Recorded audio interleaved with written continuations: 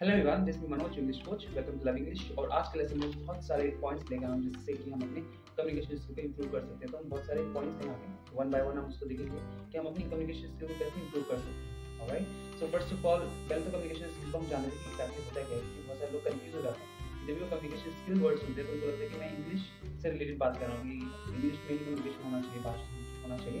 But ये ऐसा बिल्कुल नहीं है। कम्युनिकेशन का मतलब होता है कि हम अपने जो आइडियाज़ हैं थॉट्स हैं और फीलिंग्स हैं वो दूसरे लोगों के साथ शेयर करें। अब वो आप शेयर कैसे भी कर सकते हैं, आप हिंदी में शेयर कर सकते हैं इंग्लिश में शेयर कर सकते हैं, आप किसी भी मोड से शेयर आप कर सकते हैं। तो हम उसको कम्युनिकेशन बोलते हैं। कम्युनिकेशन और इंग्लिश बहुत ही अलग है। इंग्लिश एक लैंग्वेज और कम्युनिकेशन एक प्रोसेस है। जहाँ पर आइडियाज़ फीलिंग्स और थॉट शेयर करते हैं। फाइन आपकी दो चीज़ आपको अब समझ आ गया होगा। तो जैसे कि अभी मैं आपसे बात कर रहा हूँ, मैं आपसे कुछ चीज़ शेयर कर रहा हूँ। This is also one of the forms of communication okay तो सबसे पहला ये है कि learn the basics of non verbal communication कुछ लोगों को पता होगा नॉन वर्बल कम्युनिकेशन क्या क्या है और कुछ को नहीं पता होगा, ठीक है? तो सबसे पहले मुझे जब मैं किसी के बात कर रहा हूँ तो मुझे नॉन वर्बल कम्युनिकेशन के बारे में नॉलेज होना चाहिए। नॉन वर्बल कम्युनिकेशन होता क्या है? अभी मैं आपसे वर्ड्स में बात कर रहा हूँ और यहाँ पे मैंने बहुत सारी चीज़ें चीज़ें लिखी हैं यहाँ पे वर्ड्स हैं। तो इनको हम बोलते हैं वर्बल कम्युनिकेशन बोल के या फिर लिख के, जहाँ भी शब्द आ जाते हैं हम उनको बोलते हैं वर्बल कम्युनिकेशन अब नॉन वर्बल क्या होता है, जहाँ पे मैं इशारे कर रहा हूँ या फिर मेरे जो चेहरे के एक्सप्रेशन हैं, मैं अपनी कभी आँख बड़ी कर ले रहा हूँ छोटी कर ले रहा हूँ, हाथ में कंटिन्यूसली हिला रहा हूँ या फिर सर को हिला रहा हूँ। So this is for non Oval communication तो अगर मैं कभी किसी से बात कर रहा हूँ तो मुझे उनकी बॉडी लैंग्वेज पे भी ध्यान देना है। और आपने बात करते करते लोगों से भी ऑब्ज़र्व किया होगा एक्चुअली लोगों को ऑब्ज़र्व किया होगा आपने। आप उनको देख के बता सकते कि उनको नींद आ रहा है या नहीं आ रहा है। उनको वो बोर महसूस करें नहीं कर रहे हैं। या फिर वो थके हुए नहीं, अगर मैं ऐसे करके करूँगा तो ऑब्वियसली आपको लगेगा मैं थका हुआ हूँ। अगर मेरी आवाज़ या फिर मैं एनर्जी नहीं है तो आपको लगेगा यस ऑब्वियसली मैं थका हुआ हूँ। तो हमें उनकी नॉन जो क्यूज़ हैं, जो हिंट्स हैं, उन पर हमें ध्यान रखना है। हमें ये ध्यान रखना है ऑब्वियसली अगर मेरे जो ऑडियंस हैं, वो मेरे को नहीं सुन रहे हैं या फिर वो, उनको नींद आ रहा है, वो ही ले रहे हैं तो मैं समझ जाऊँगा कि अभी जो मेरी ऑडियंस है, मैं एनर्जी नहीं है। फिर मैं जिनके साथ बात कर रहा हूँ मैं एनर्जी नहीं तो ऑब्वियसली मुझे कोई नया टॉपिक लेके आना पड़ेगा। तो सबसे पहले मुझे नॉन वर्बल कम्युनिकेशन के बारे में पता होना चाहिए एग्जैक्टली होता है। क्या अगर कोई भी इंसान ऐसे रहते खड़ा हुआ है, बैठा हुआ है तो इसको हम क्लोज पोजिशन बोलते हैं जिसको हम अच्छा कंसिडर नहीं करते। तो हम हमेशा ओपन पोजिशन कंसिडर करते हैं, क्योंकि ओपन का मतलब होता है कि वो लोग आपकी बातों को सुन रहे हैं वो रिसेप्टिव है आपके आइडियाज़ को लेकर अगर कोई ऐसे बैठा हुआ है तो इसका मतलब होता है कि वो आपके आइडियाज़ को लेकर रिसेप्टिव नहीं है, वो आपके आइडियाज़ को एक्सेप्ट नहीं कर रहा। और अगर मैं स्लाउच करके खड़ा हूँ या फिर बैठा हूँ अगेन ये भी एक फॉर्म ऑफ़ नॉन कम्युनिकेशन जिसमें कि सेंडर को, जो स्पीकर है, मैं उसको ये सिग्नल दे रहा हूँ कि मैं आपकी बात में इंटरेस्टेड नहीं हूँ या फिर मुझे समझ नहीं आ रहा है। तो आपको नॉन वर्बल कम्युनिकेशन के बारे में पता होना चाहिए, तभी आप गेज कर पाएँगे आपकी audience so it's point number one कि मुझे नॉन वर्बल कम्युनिकेशन के बारे में पता होना चाहिए for effective communication second is over communicate just to communicate ना, यहाँ पे इसका ये मतलब है कि जो भी आप कम्युनिकेट करना चाहते हैं अपनी ऑडियंस के साथ, अब यहाँ पे ओवर कम्युनिकेट यहाँ पे वर्ड यूज़ किया। अब आपने भी बहुत बार ये ऑब्ज़र्व किया होगा अपने मे बी स्कूल डेज़ में या फिर ऑफ़िस प्रेजेंटेशन में या फिर मीटिंग में कोई भी आपने मीटिंग अटेंड की होगी अगर हम कोई भी टॉपिक इसको समझाते हैं तो उसका मे बी टेन परसेंट किसी को टेन परसेंट समझ आता है, किसी को ट्वेंटी परसेंट समझ आता है, किसी को फिफ्टी मे बी किसी को एटी परसेंट समझ आता है बट हंड्रेड परसेंट किसी को समझ नहीं आता है। तो ओवर कम्युनिकेट का मतलब ये है कि अगर आप कोई भी टॉपिक किसी को बताना चाह रहे हैं तो आप उस टॉपिक के बारे में ओवर कम्युनिकेट करिए। कुछ ज़्यादा ही बताइए इस टॉपिक से सो दैट कि जैसे मैंने बताया कि हंड्रेड परसेंट किसी को समझ नहीं आता है तो ओवर कम्युनिकेट से क्या होगा कि मैं मैं one hundred and fifty percent उसे बताऊँगा तो तब जाकर उसको एट्टी नाइनटी परसेंट समझ आएगा। ओके तो हमें उस टॉपिक के बारे में कुछ ज़्यादा बताने की ज़रूरत है, ताकि हमारे जो माइंड है माइंड सारा ऑब्जॉर्व नहीं करता है वो बहुत सारी चीज़ें छोड़ भी देता है। और ये डिपेंड भी करता है कि किस टॉपिक क्या, कौन सा टॉपिक आपको बताया जा रहा है? हो सकता है कि for example I am from non technical background और अगर आप मुझे टेक्निकल चीज़ें बताएँगे तो ऑब्वियसली वो मेरे सर के ऊपर से जाकर नहीं समझ तो आपको चाहिए कि आप मुझे ओवर कम्युनिकेट करें उस चीज़ बारे में। हो सकता है आपको चीज़ें रिपीट रिपीटली बोलते रहो आप मुझको तो जाके वो मेरे माइंड में तब बैठेगा वो।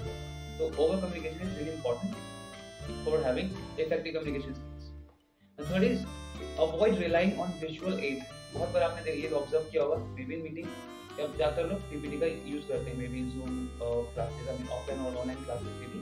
आप पीपीटी का पावर पॉइंट प्रेजेंटेशन का बहुत ज़्यादा सहारा देते हैं। So that is visual aid okay तो मैं आपको स्क्रीन दिखा रहा हूँ स्क्रीन में आपको समझा रहा हूँ। पर सिर्फ़ उसी पे डिपेंडेंट होना इज़ नॉट गुड ओके क्योंकि बहुत बार लोग क्या मिस्टेक्स करते हैं कि वो पीपीटी बनाते हैं, और पीपीटी में वो दस बीस लाइन एक ही स्लाइड पर रहते हैं। और उसको रीड करते हैं अगर पीपीटी पे सिंपल डिपेंडेंट हो और आप सारे वर्ड टू वर्ड पढ़ के लोगों को बता रहे so obviously it gets little bored boring okay तो आपको क्या चाहिए? आप सिर्फ़ पीपीटी पे आपको फोकस नहीं करना है आपको चीज़ें पीपीटी से बताइए और कुछ आपको अपने नॉलेज और अपने एक्सपीरियंस से शेयर करना है लोगों के साथ। आप सारा कुछ वहाँ से पढ़ के बताएँगे तो ये तो कोई भी काम कर लेते आप उनके साथ शेयर कर सकते हैं and then they can read afterwards but आपको वहाँ से भी कुछ चीज़ बोलनी है और आपको भी अपनी तरफ़ से कुछ चीज़ एक्सप्लेन करनी है शेयर करनी है। फॉर एग्ज़ाम्पल यहाँ पे मैंने कुछ पॉइंट्स लिखे हैं। तो तो इन पॉइंट्स को देख के ही मैं आपको बता रहा हूँ। यहाँ पे ये जो भी चीज़ मैं एडिशनल बता रहा हूँ, वो मेरा एक्सपीरियंस है। ओके तो सेम चीज़ हमें करना है कि हमें पीपीटी पे सारा कुछ रिलाई नहीं करना है। उस पर डिपेंडेंट नहीं रहना है। पीपीटी हो सकता है, कोई इमेज हो सकती है या फिर कोई केस स्टडी हो सकता है।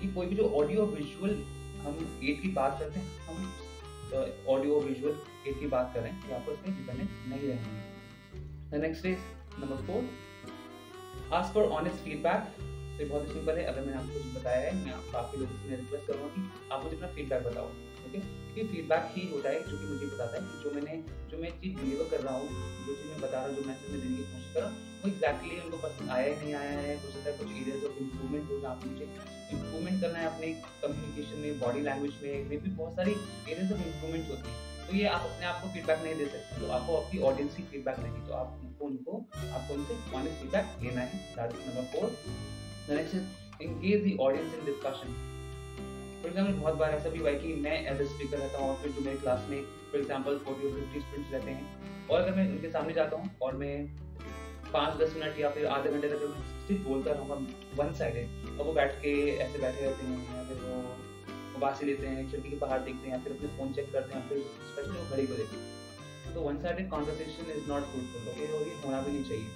तो अगर आप कम्युनिकेट कर रहे हैं अपनी ऑडियंस के साथ तो आपको चाहिए कि आप टू वे कम्युनिकेशन करें। बीच बीच में आप अपने क्वेश्चन पूछिए, उनके डाउट्स लीजिए। अगेन ये डिपेंड करता है कि आप किस चीज़ की प्रेजेंटेशन दे रहे हो, क्या कम्युनिकेशन की आई मीन क्या कम्युनिकेट कर रहे हो आप उनके साथ। तो इंगेज करना बहुत ही ज़्यादा ज़रूरी है। अभी ज़रूरी इसलिए है, क्योंकि जब तक आप उनको इंगेज नहीं करेंगे तो तब तक वो अपने को कनेक्टेड फील नहीं करेंगे आपके साथ ओके तो आपको उनको कनेक्ट करना बहुत ज़्यादा ज़रूरी है। क्वेश्चन डाउट सेशन हो सकता है, कुछ भी हो सकता है। ऐसा कुछ, जैसे कि ऑडियंस को लगे कि हाँ जो स्पीकर है, वो हमारे साथ एग्जैक्टली कम्युनिकेट कर रहे हो। So this was the fifth point engage the audience in discussion बहुत ज़्यादा important number six start and end with key points so obviously अगर आप कोई भी चीज़, क्योंकि हमारा जो कम्युनिकेट करने का कोई ना कोई पर्पस होता ही होता है ऑब्जेक्टिव होता ही होता है। शुरुआत में आप वो लोगों को बताएँगे ताकि उनको ध्यान रहे कि हाँ जो आजकल जो कम्युनिकेशन जो होने वाला है या हो रहा है उनके एक की पॉइंट है। फॉर एग्ज़ाम्पल अभी मेरा जो की पॉइंट डिस्कस वो ये है कि हम कम्युनिकेशन को इफ़ेक्टिव किस तरह से बना सकते हैं, फिर इम्प्रूव कैसे कर सकते हैं की पॉइंट है। ये शुरुआत में मैंने आपको बताया तो आपको पता है कि हाँ ये सारे पॉइंट्स हैं जो कि मैं डिस्कस करूँगा आपसे कर रहा हूँ।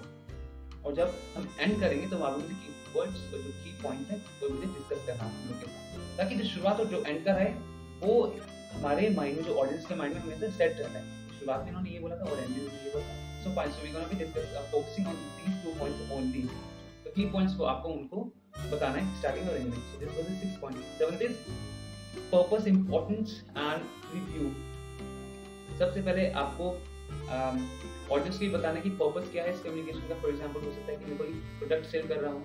हो सकता है मैं कोई टॉपिक आपको टीच कर रहा हूँ अभी मैं आपको कर रहा हूँ टीच तो कुछ ना पर्पस होता ही होता है.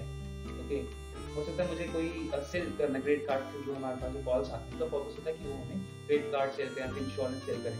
पर्पस क्लियर होना चाहिए आपके माइंड में और ये आपको अपने ऑडियंस को शेयर करना है। ये डिपेंड करता है कि आप शेयर करेंगे या नहीं करेंगे। कहीं कहीं हमें शेयर करना पड़ जाता है कहीं कहीं शेयर नहीं करते हैं, हम इनडायरेक्टली उनसे पूछ लेते हैं।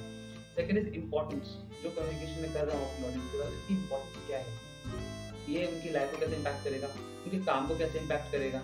सबसे पहले पर्पस सेकंड इज़ इम्पोर्टेंस कितना इम्पोर्टेंट उनकी लाइफ के लिए। प्रीव्यू प्रीव्यू का मतलब है कि कौन कौन से टॉपिक्स है जो कि मैं आज के कम्युनिकेशन में डिस्कस करने वाला तो ये भी इंपॉर्टेंट है, मुझे इनको बताना है। तो मुझे मेरे माइंड में क्लियर होना चाहिए। Second is important third is preview कौन सा टॉपिक में डिस्कस करूँगा this point the next is record important presentation so अभी क्या है? ज़्यादातर जो ऑनलाइन क्लासेस अब ऑनलाइन हो रही जूम के through Google Meet maybe Microsoft Teams और maybe other internet based services अगर आपको लगता है कि आपको सेम प्रेजेंटेशन ओवन अगेन देनी है बहुत सारे लोगों को देनी है अलग अलग क्लासेस में आपको सेम प्रेजेंटेशन देना है तो आप उन प्रेजेंटेशन को रिकॉर्ड कर सकते हैं। एक प्रेजेंटेशन आप रिकॉर्ड करिए और वही रिकॉर्डिंग आप बाकी ऑडियंस को दिखाओ तो इससे क्या होगा, मेरा टाइम बचेगा लेस कंज्यूमिंग होगा ये, और सेम मैसेज सभी लोग को जाएगा। ये तब आपको अपनाना है जब आपको सेम सेशन देना है सेम मैसेज कन्वे करना है अपने ऑडियंस का, तब आप ये वाला रिकॉर्डिंग वाला मेथड अपनाएँगे। Otherwise you don't need any recording method अगर आपको लगता है कि एक बार में ही हो जाएगा सारा काम so you don't need to record anything otherwise you have to recording so this was the 8 point record your presentation the next ninth point is master the art of timing this is really important to see सभी लोग के पास पूरा दिन ही आपकी lecture सुनने के लिए आपकी कम्युनिकेशन आई मीन जो भी चीज़ आप डिलीवर करने की कोशिश कर रहे हो, कोई पूरे दिन बैठा नहीं हो पे। एंड ट्रस्ट ऑन दिस अगर आप मुझे बोलोगे तीस मिनट बैठ के, तीस मिनट नहीं, पाँच मिनट भी अगर आप मुझे बिठाओगे, आप कुछ बोलोगे तो ऑब्वियसली मैं इंटरेस्टेड नहीं हूँ। तो आपको इस तरह से टाइम करना है, अपना कम्युनिकेशन में, अपनी प्रेजेंटेशन या फिर आप कुछ भी कम्युनिकेट कर रहे हो आप तो आपको अच्छे से टाइमिंग करनी की थर्टी मिनट्स का तो आपको थर्टी मिनट्स में फिनिश करना है, एक घंटे का है तो एक घंटे में फिनिश करना है, एक घंटे से बियॉन्ड अगर जाओगे तो लोग ऑब्वियसली आपको नहीं सुनेंगे। घड़ी को देखेंगे भाग मिलने की कोशिश करेंगे बल्कि मुझे जाना है इंपॉर्टेंट काम है तो अच्छे से आपको टाइमिंग करना है। थर्टी मिनट्स का तो you try finishing before thirty तीस मिनट से पहले कोशिश करो खत्म करने तो आपको टाइमिंग अच्छे से आनी चाहिए प्रेजेंटेशन के लिए। तो this was the point number nine फिर है नेक्स्ट नंबर टेन एक वर्ड इंग्लिश का दैट इज़ कॉल्ड एक्सटेम्पोर अब एक्सटेम्पोर होता क्या है? कि मैंने आपको कोई भी टॉपिक दिया है और आपको उस टॉपिक पे अचानक बोलना है विदाउट एनी प्रेपरेशन किसी भी टॉपिक पे, बिना किसी प्रेपरेशन के, बिना किसी तैयारी के बोलने को बोलते हैं एक्सटेम्पोर तो आपको वो भी आना चाहिए, क्योंकि जब तक आप एक्सटेम्पोरियस नहीं बनेंगे इस टॉपिक के बिना तैयारी के नहीं बोलेंगे तो ऑब्वियसली आप अच्छे कम्युनिकेटर नहीं कहलाएँगे क्योंकि इन बिटवीन कोई भी ऑडियंस में कोई भी सवाल पूछ लेता है, कोई क्वेश्चन होता है डाउट होता है क्वेरी तो कुछ भी आ सकता है ऑडियंस की तरफ़ से। और अगर आपको लगता है कि अरे तो प्लानिंग नहीं किया कि कोई क्वेश्चन पूछेगा इन बिटवीन तो आपका जो सारा जो प्रिपरेशन जो आपने कल किया था, पूरी रात जग के, वो सब खराब हो जाएगा। तो आपको उसके लिए भी रेडी रहना है। एक्सटेल बोर्ड के लिए उससे कोई भी कुछ भी पूछ सकता है तो आपको उनको सवालों का जवाब देना है, उनकी क्वेरी को भी आई मीन फोकस करना है उस पर ठीक? तो एक्सटेम्पोर आपका माइंड में होना चाहिए कि मेरे को कोई कुछ भी पूछेगा तो उसका आंसर अच्छे से देना तो this was the number 10 point the next is number 11 get to know your audience तो आपको अपने ऑडियंस के बारे में पता होना चाहिए मेरी ऑडियंस कौन है। क्या मेरी ऑडियंस 10 साल के बच्चे हैं जिनको मुझे स्टोरी सुनानी है क्या मेरी ऑडियंस एडल्ट्स हैं 18 प्लस हैं जिनको मुझे स्टोरी सुनानी है तो ऑब्वियसली आपकी अप्रोच अलग-अलग होगी अलग-अलग ऑडियंस के लिए। छोटे बच्चों को अगर आप स्टोरी सुनाओगे, कुछ मिमिक करके एक्शन करके आप बताएँगे तो उनको ज़्यादा चलेगा ये अगर आप 18 प्लस वाले लोगों को ड्रामा करके दिखाओगे तो उनको अच्छा नहीं लगेगा। इसलिए आपको अपनी ऑडियंस को पता, आपको पता होना चाहिए मेरी ऑडियंस कौन है। वो वर्किंग प्रोफेशनल्स हैं या फिर सीनियर लेवल पे हैं जूनियर लेवल पे हैं चिल्ड्रन हैं। मेरी ऑडियंस क्या है ताकि उसके हिसाब से मैं अपनी कंटेंट को प्रिपेयर करूँ और डिलीवर करूँ। So this was the 11th point get to know your audience and after that add human presentation सी किसी को भी पसंद है कि आप 24 घंटे, ना 24 घंटे, एक घंटे हँसते रहेंगे, किसी को भी नहीं पसंद है। और एक घंटे आप बिल्कुल सीरियस रहेंगे सो ये किसी को पसंद नहीं तो आप ह्यूमर ऐड करेंगे उसके अंदर sometimes serious seriousness is fine अगर मैं हंस हंस के पढ़ाऊँगा, एक घंटा तो कोई मुझे सीरियसली नहीं लेगा। अगर मैं एक घंटा सीरियस होकर पढ़ाऊँगा तो अगेन वो बोरिंग महसूस करेंगे फिर they won't focus on the you know current topic और सब्जेक्ट दोनों का मिक्सअप होना चाहिए okay so this is really important humour add करो आप इसमें। हो सकता है आप कुछ किसने, हो सकता है आपको पूछ लिया कि कोई जोक क्रैक करने के लिए पूछ लिया फिर किसने बोला कि, सर, आप ये गाना सुनाइए, या फिर चालान सुनाइए। तो आपको उसके भी रेडी रहना okay number thirteen is focus on earning respect ठीक है कम्युनिकेट करें कुछ भी चीज़ लोगों के साथ? तो आपको फोकस करना है कि लोग आपकी बातों को सीरियसली लें, आपकी मैसेज को सीरियसली लें, और वो तभी मैसेज को सीरियसली लेंगे जब आप, जब वो आपकी रिस्पेक्ट करेंगे। क्योंकि हंसा तो कोई भी सकता है, हंसा तो जो कर भी सकता है ओके अगर मैं कोई भी एक एक्शन करूँगा आप हंसेंगे। तो आपको उनको हंसाने के लिए आप वहाँ पे कम्युनिकेट नहीं कर रहे हो आप। आप वहाँ पे कोई प्रेजेंटेशन देने के लिए कर रहे हैं ऑफ़िस स्कूल तो हंसाना है है बट आपको वहाँ पे उनकी रिस्पेक्ट को अर्न करना है। आप रिस्पेक्ट अर्न नहीं करेंगे, तब तक आप वो आपकी बातों को सीरियसली नहीं लेंगे अर्न आप कैसे करेंगे? जब आप अपने काम में इन डेप्थ नॉलेज रखते हो, अच्छे से डिलीवर कर रहे हो आप आप चीज़ों को अच्छे से ऑडियंस को रख रहे हो, आप उनको सुन रहे हो अगर ये सारी चीज़ें चल रही हैं, हो रही हैं, तभी वो आपके रिस्पेक्ट करेंगे। Fine so this was my 15 point and हाँ इसमें एक और पॉइंट मैं ऐड करना चाहूँगा कि जब भी आप कोई अपना प्रेजेंटेशन जैसे मैंने बताया कि आपको ह्यूमर भी ऐड करना बीच में आपको ये ध्यान रखना है कि आप अपनी जो प्रेजेंटेशन है वो हँसी के साथ खत्म नहीं करेंगे एंड नहीं करेंगे। बीच में हँसी fine at the end of the presentation जो मैंने बताया था कि हमें की पॉइंट्स शुरुआत में बताना है और एंड में बताना है, आपको फोकस में रखना है। तो एंड में आप की वर्ड की पॉइंट्स की वर्ड्स से लोगों के साथ शेयर करेंगे और उसी के साथ प्रेजेंटेशन को फिनिश करेंगे। बट इसमें कोई लाफिंग नहीं होनी चाहिए लाफिंग में लोग सीरियसली नहीं लेते ठीक है? तो आपको सीरियस नोट पे नॉट सीरियस नोट बट या जो कीवर्ड है, उस नोट पे आपको खत्म करना है। आपको कैसे करेंगे आप? ये कंप्लीटली डिपेंड्स ऑन यू कि आपकी ऑडियंस क्या है, आप उसको कैसे रखते हैं क्योंकि आपको टाइम मैनेजमेंट भी करना है। And the last point is be are listener obviously क्योंकि आप वहाँ पे बोल रहे हैं ऑडियंस आपके सुनिए अब जब ऑडियंस बोलेगी तो आपको भी ऑडियंस को सुनना पड़ेगा। This is two communication like I share earlier so आप बोलेंगे, वो सुनेंगे, वो बोलेंगे, आप सुनेंगे। So it's really important audience में आपको अलग अलग टाइप के लोग मिलेंगे अलग अलग तरह के लोग मिलेंगे कुछ लोग आपकी बात सुनेंगे कुछ लोग आपकी बिल्कुल नहीं सुनेंगे कुछ लोग आपसे क्रॉस क्वेश्चंस करेंगे कुछ ऐसे भी क्वेश्चंस होंगे जो कि आपके प्रेजेंटेशन से दूर दूर तक उसको रिलेशन में बदले लास्ट दिन सब टाइप ऑफ़ क्वेश्चंस तो आपको सभी लोगों को एड्रेस करना है। ओके वो सभी को एड्रेस करना आप तब सब लोगों को एड्रेस तभी कर पाओगे जब आप अच्छे listener so fine so you be listener. Now let's conclude this session. I've shared 14 uh, points how you can improve your communication skills. So first of all, i'm just taking four most important points जो मुझे लगते हैं। तो first is effective communication skills होनी चाहिए मेरे पास। Again English और कम्युनिकेशन को आप ऐड नहीं साथ नहीं देखेंगे। तो इफ़ेक्टिव कम्युनिकेटर आपको होना चाहिए। कोई भी चीज़ें आपको सेल करनी है ऑफ़िस में प्रेजेंटेशन स्कूल में प्रेजेंटेशन में कॉलेज में प्रेजेंटेशन आपको बोलना है लोग के सामने, आपको इफ़ेक्टिव कम्युनिकेटर होना चाहिए।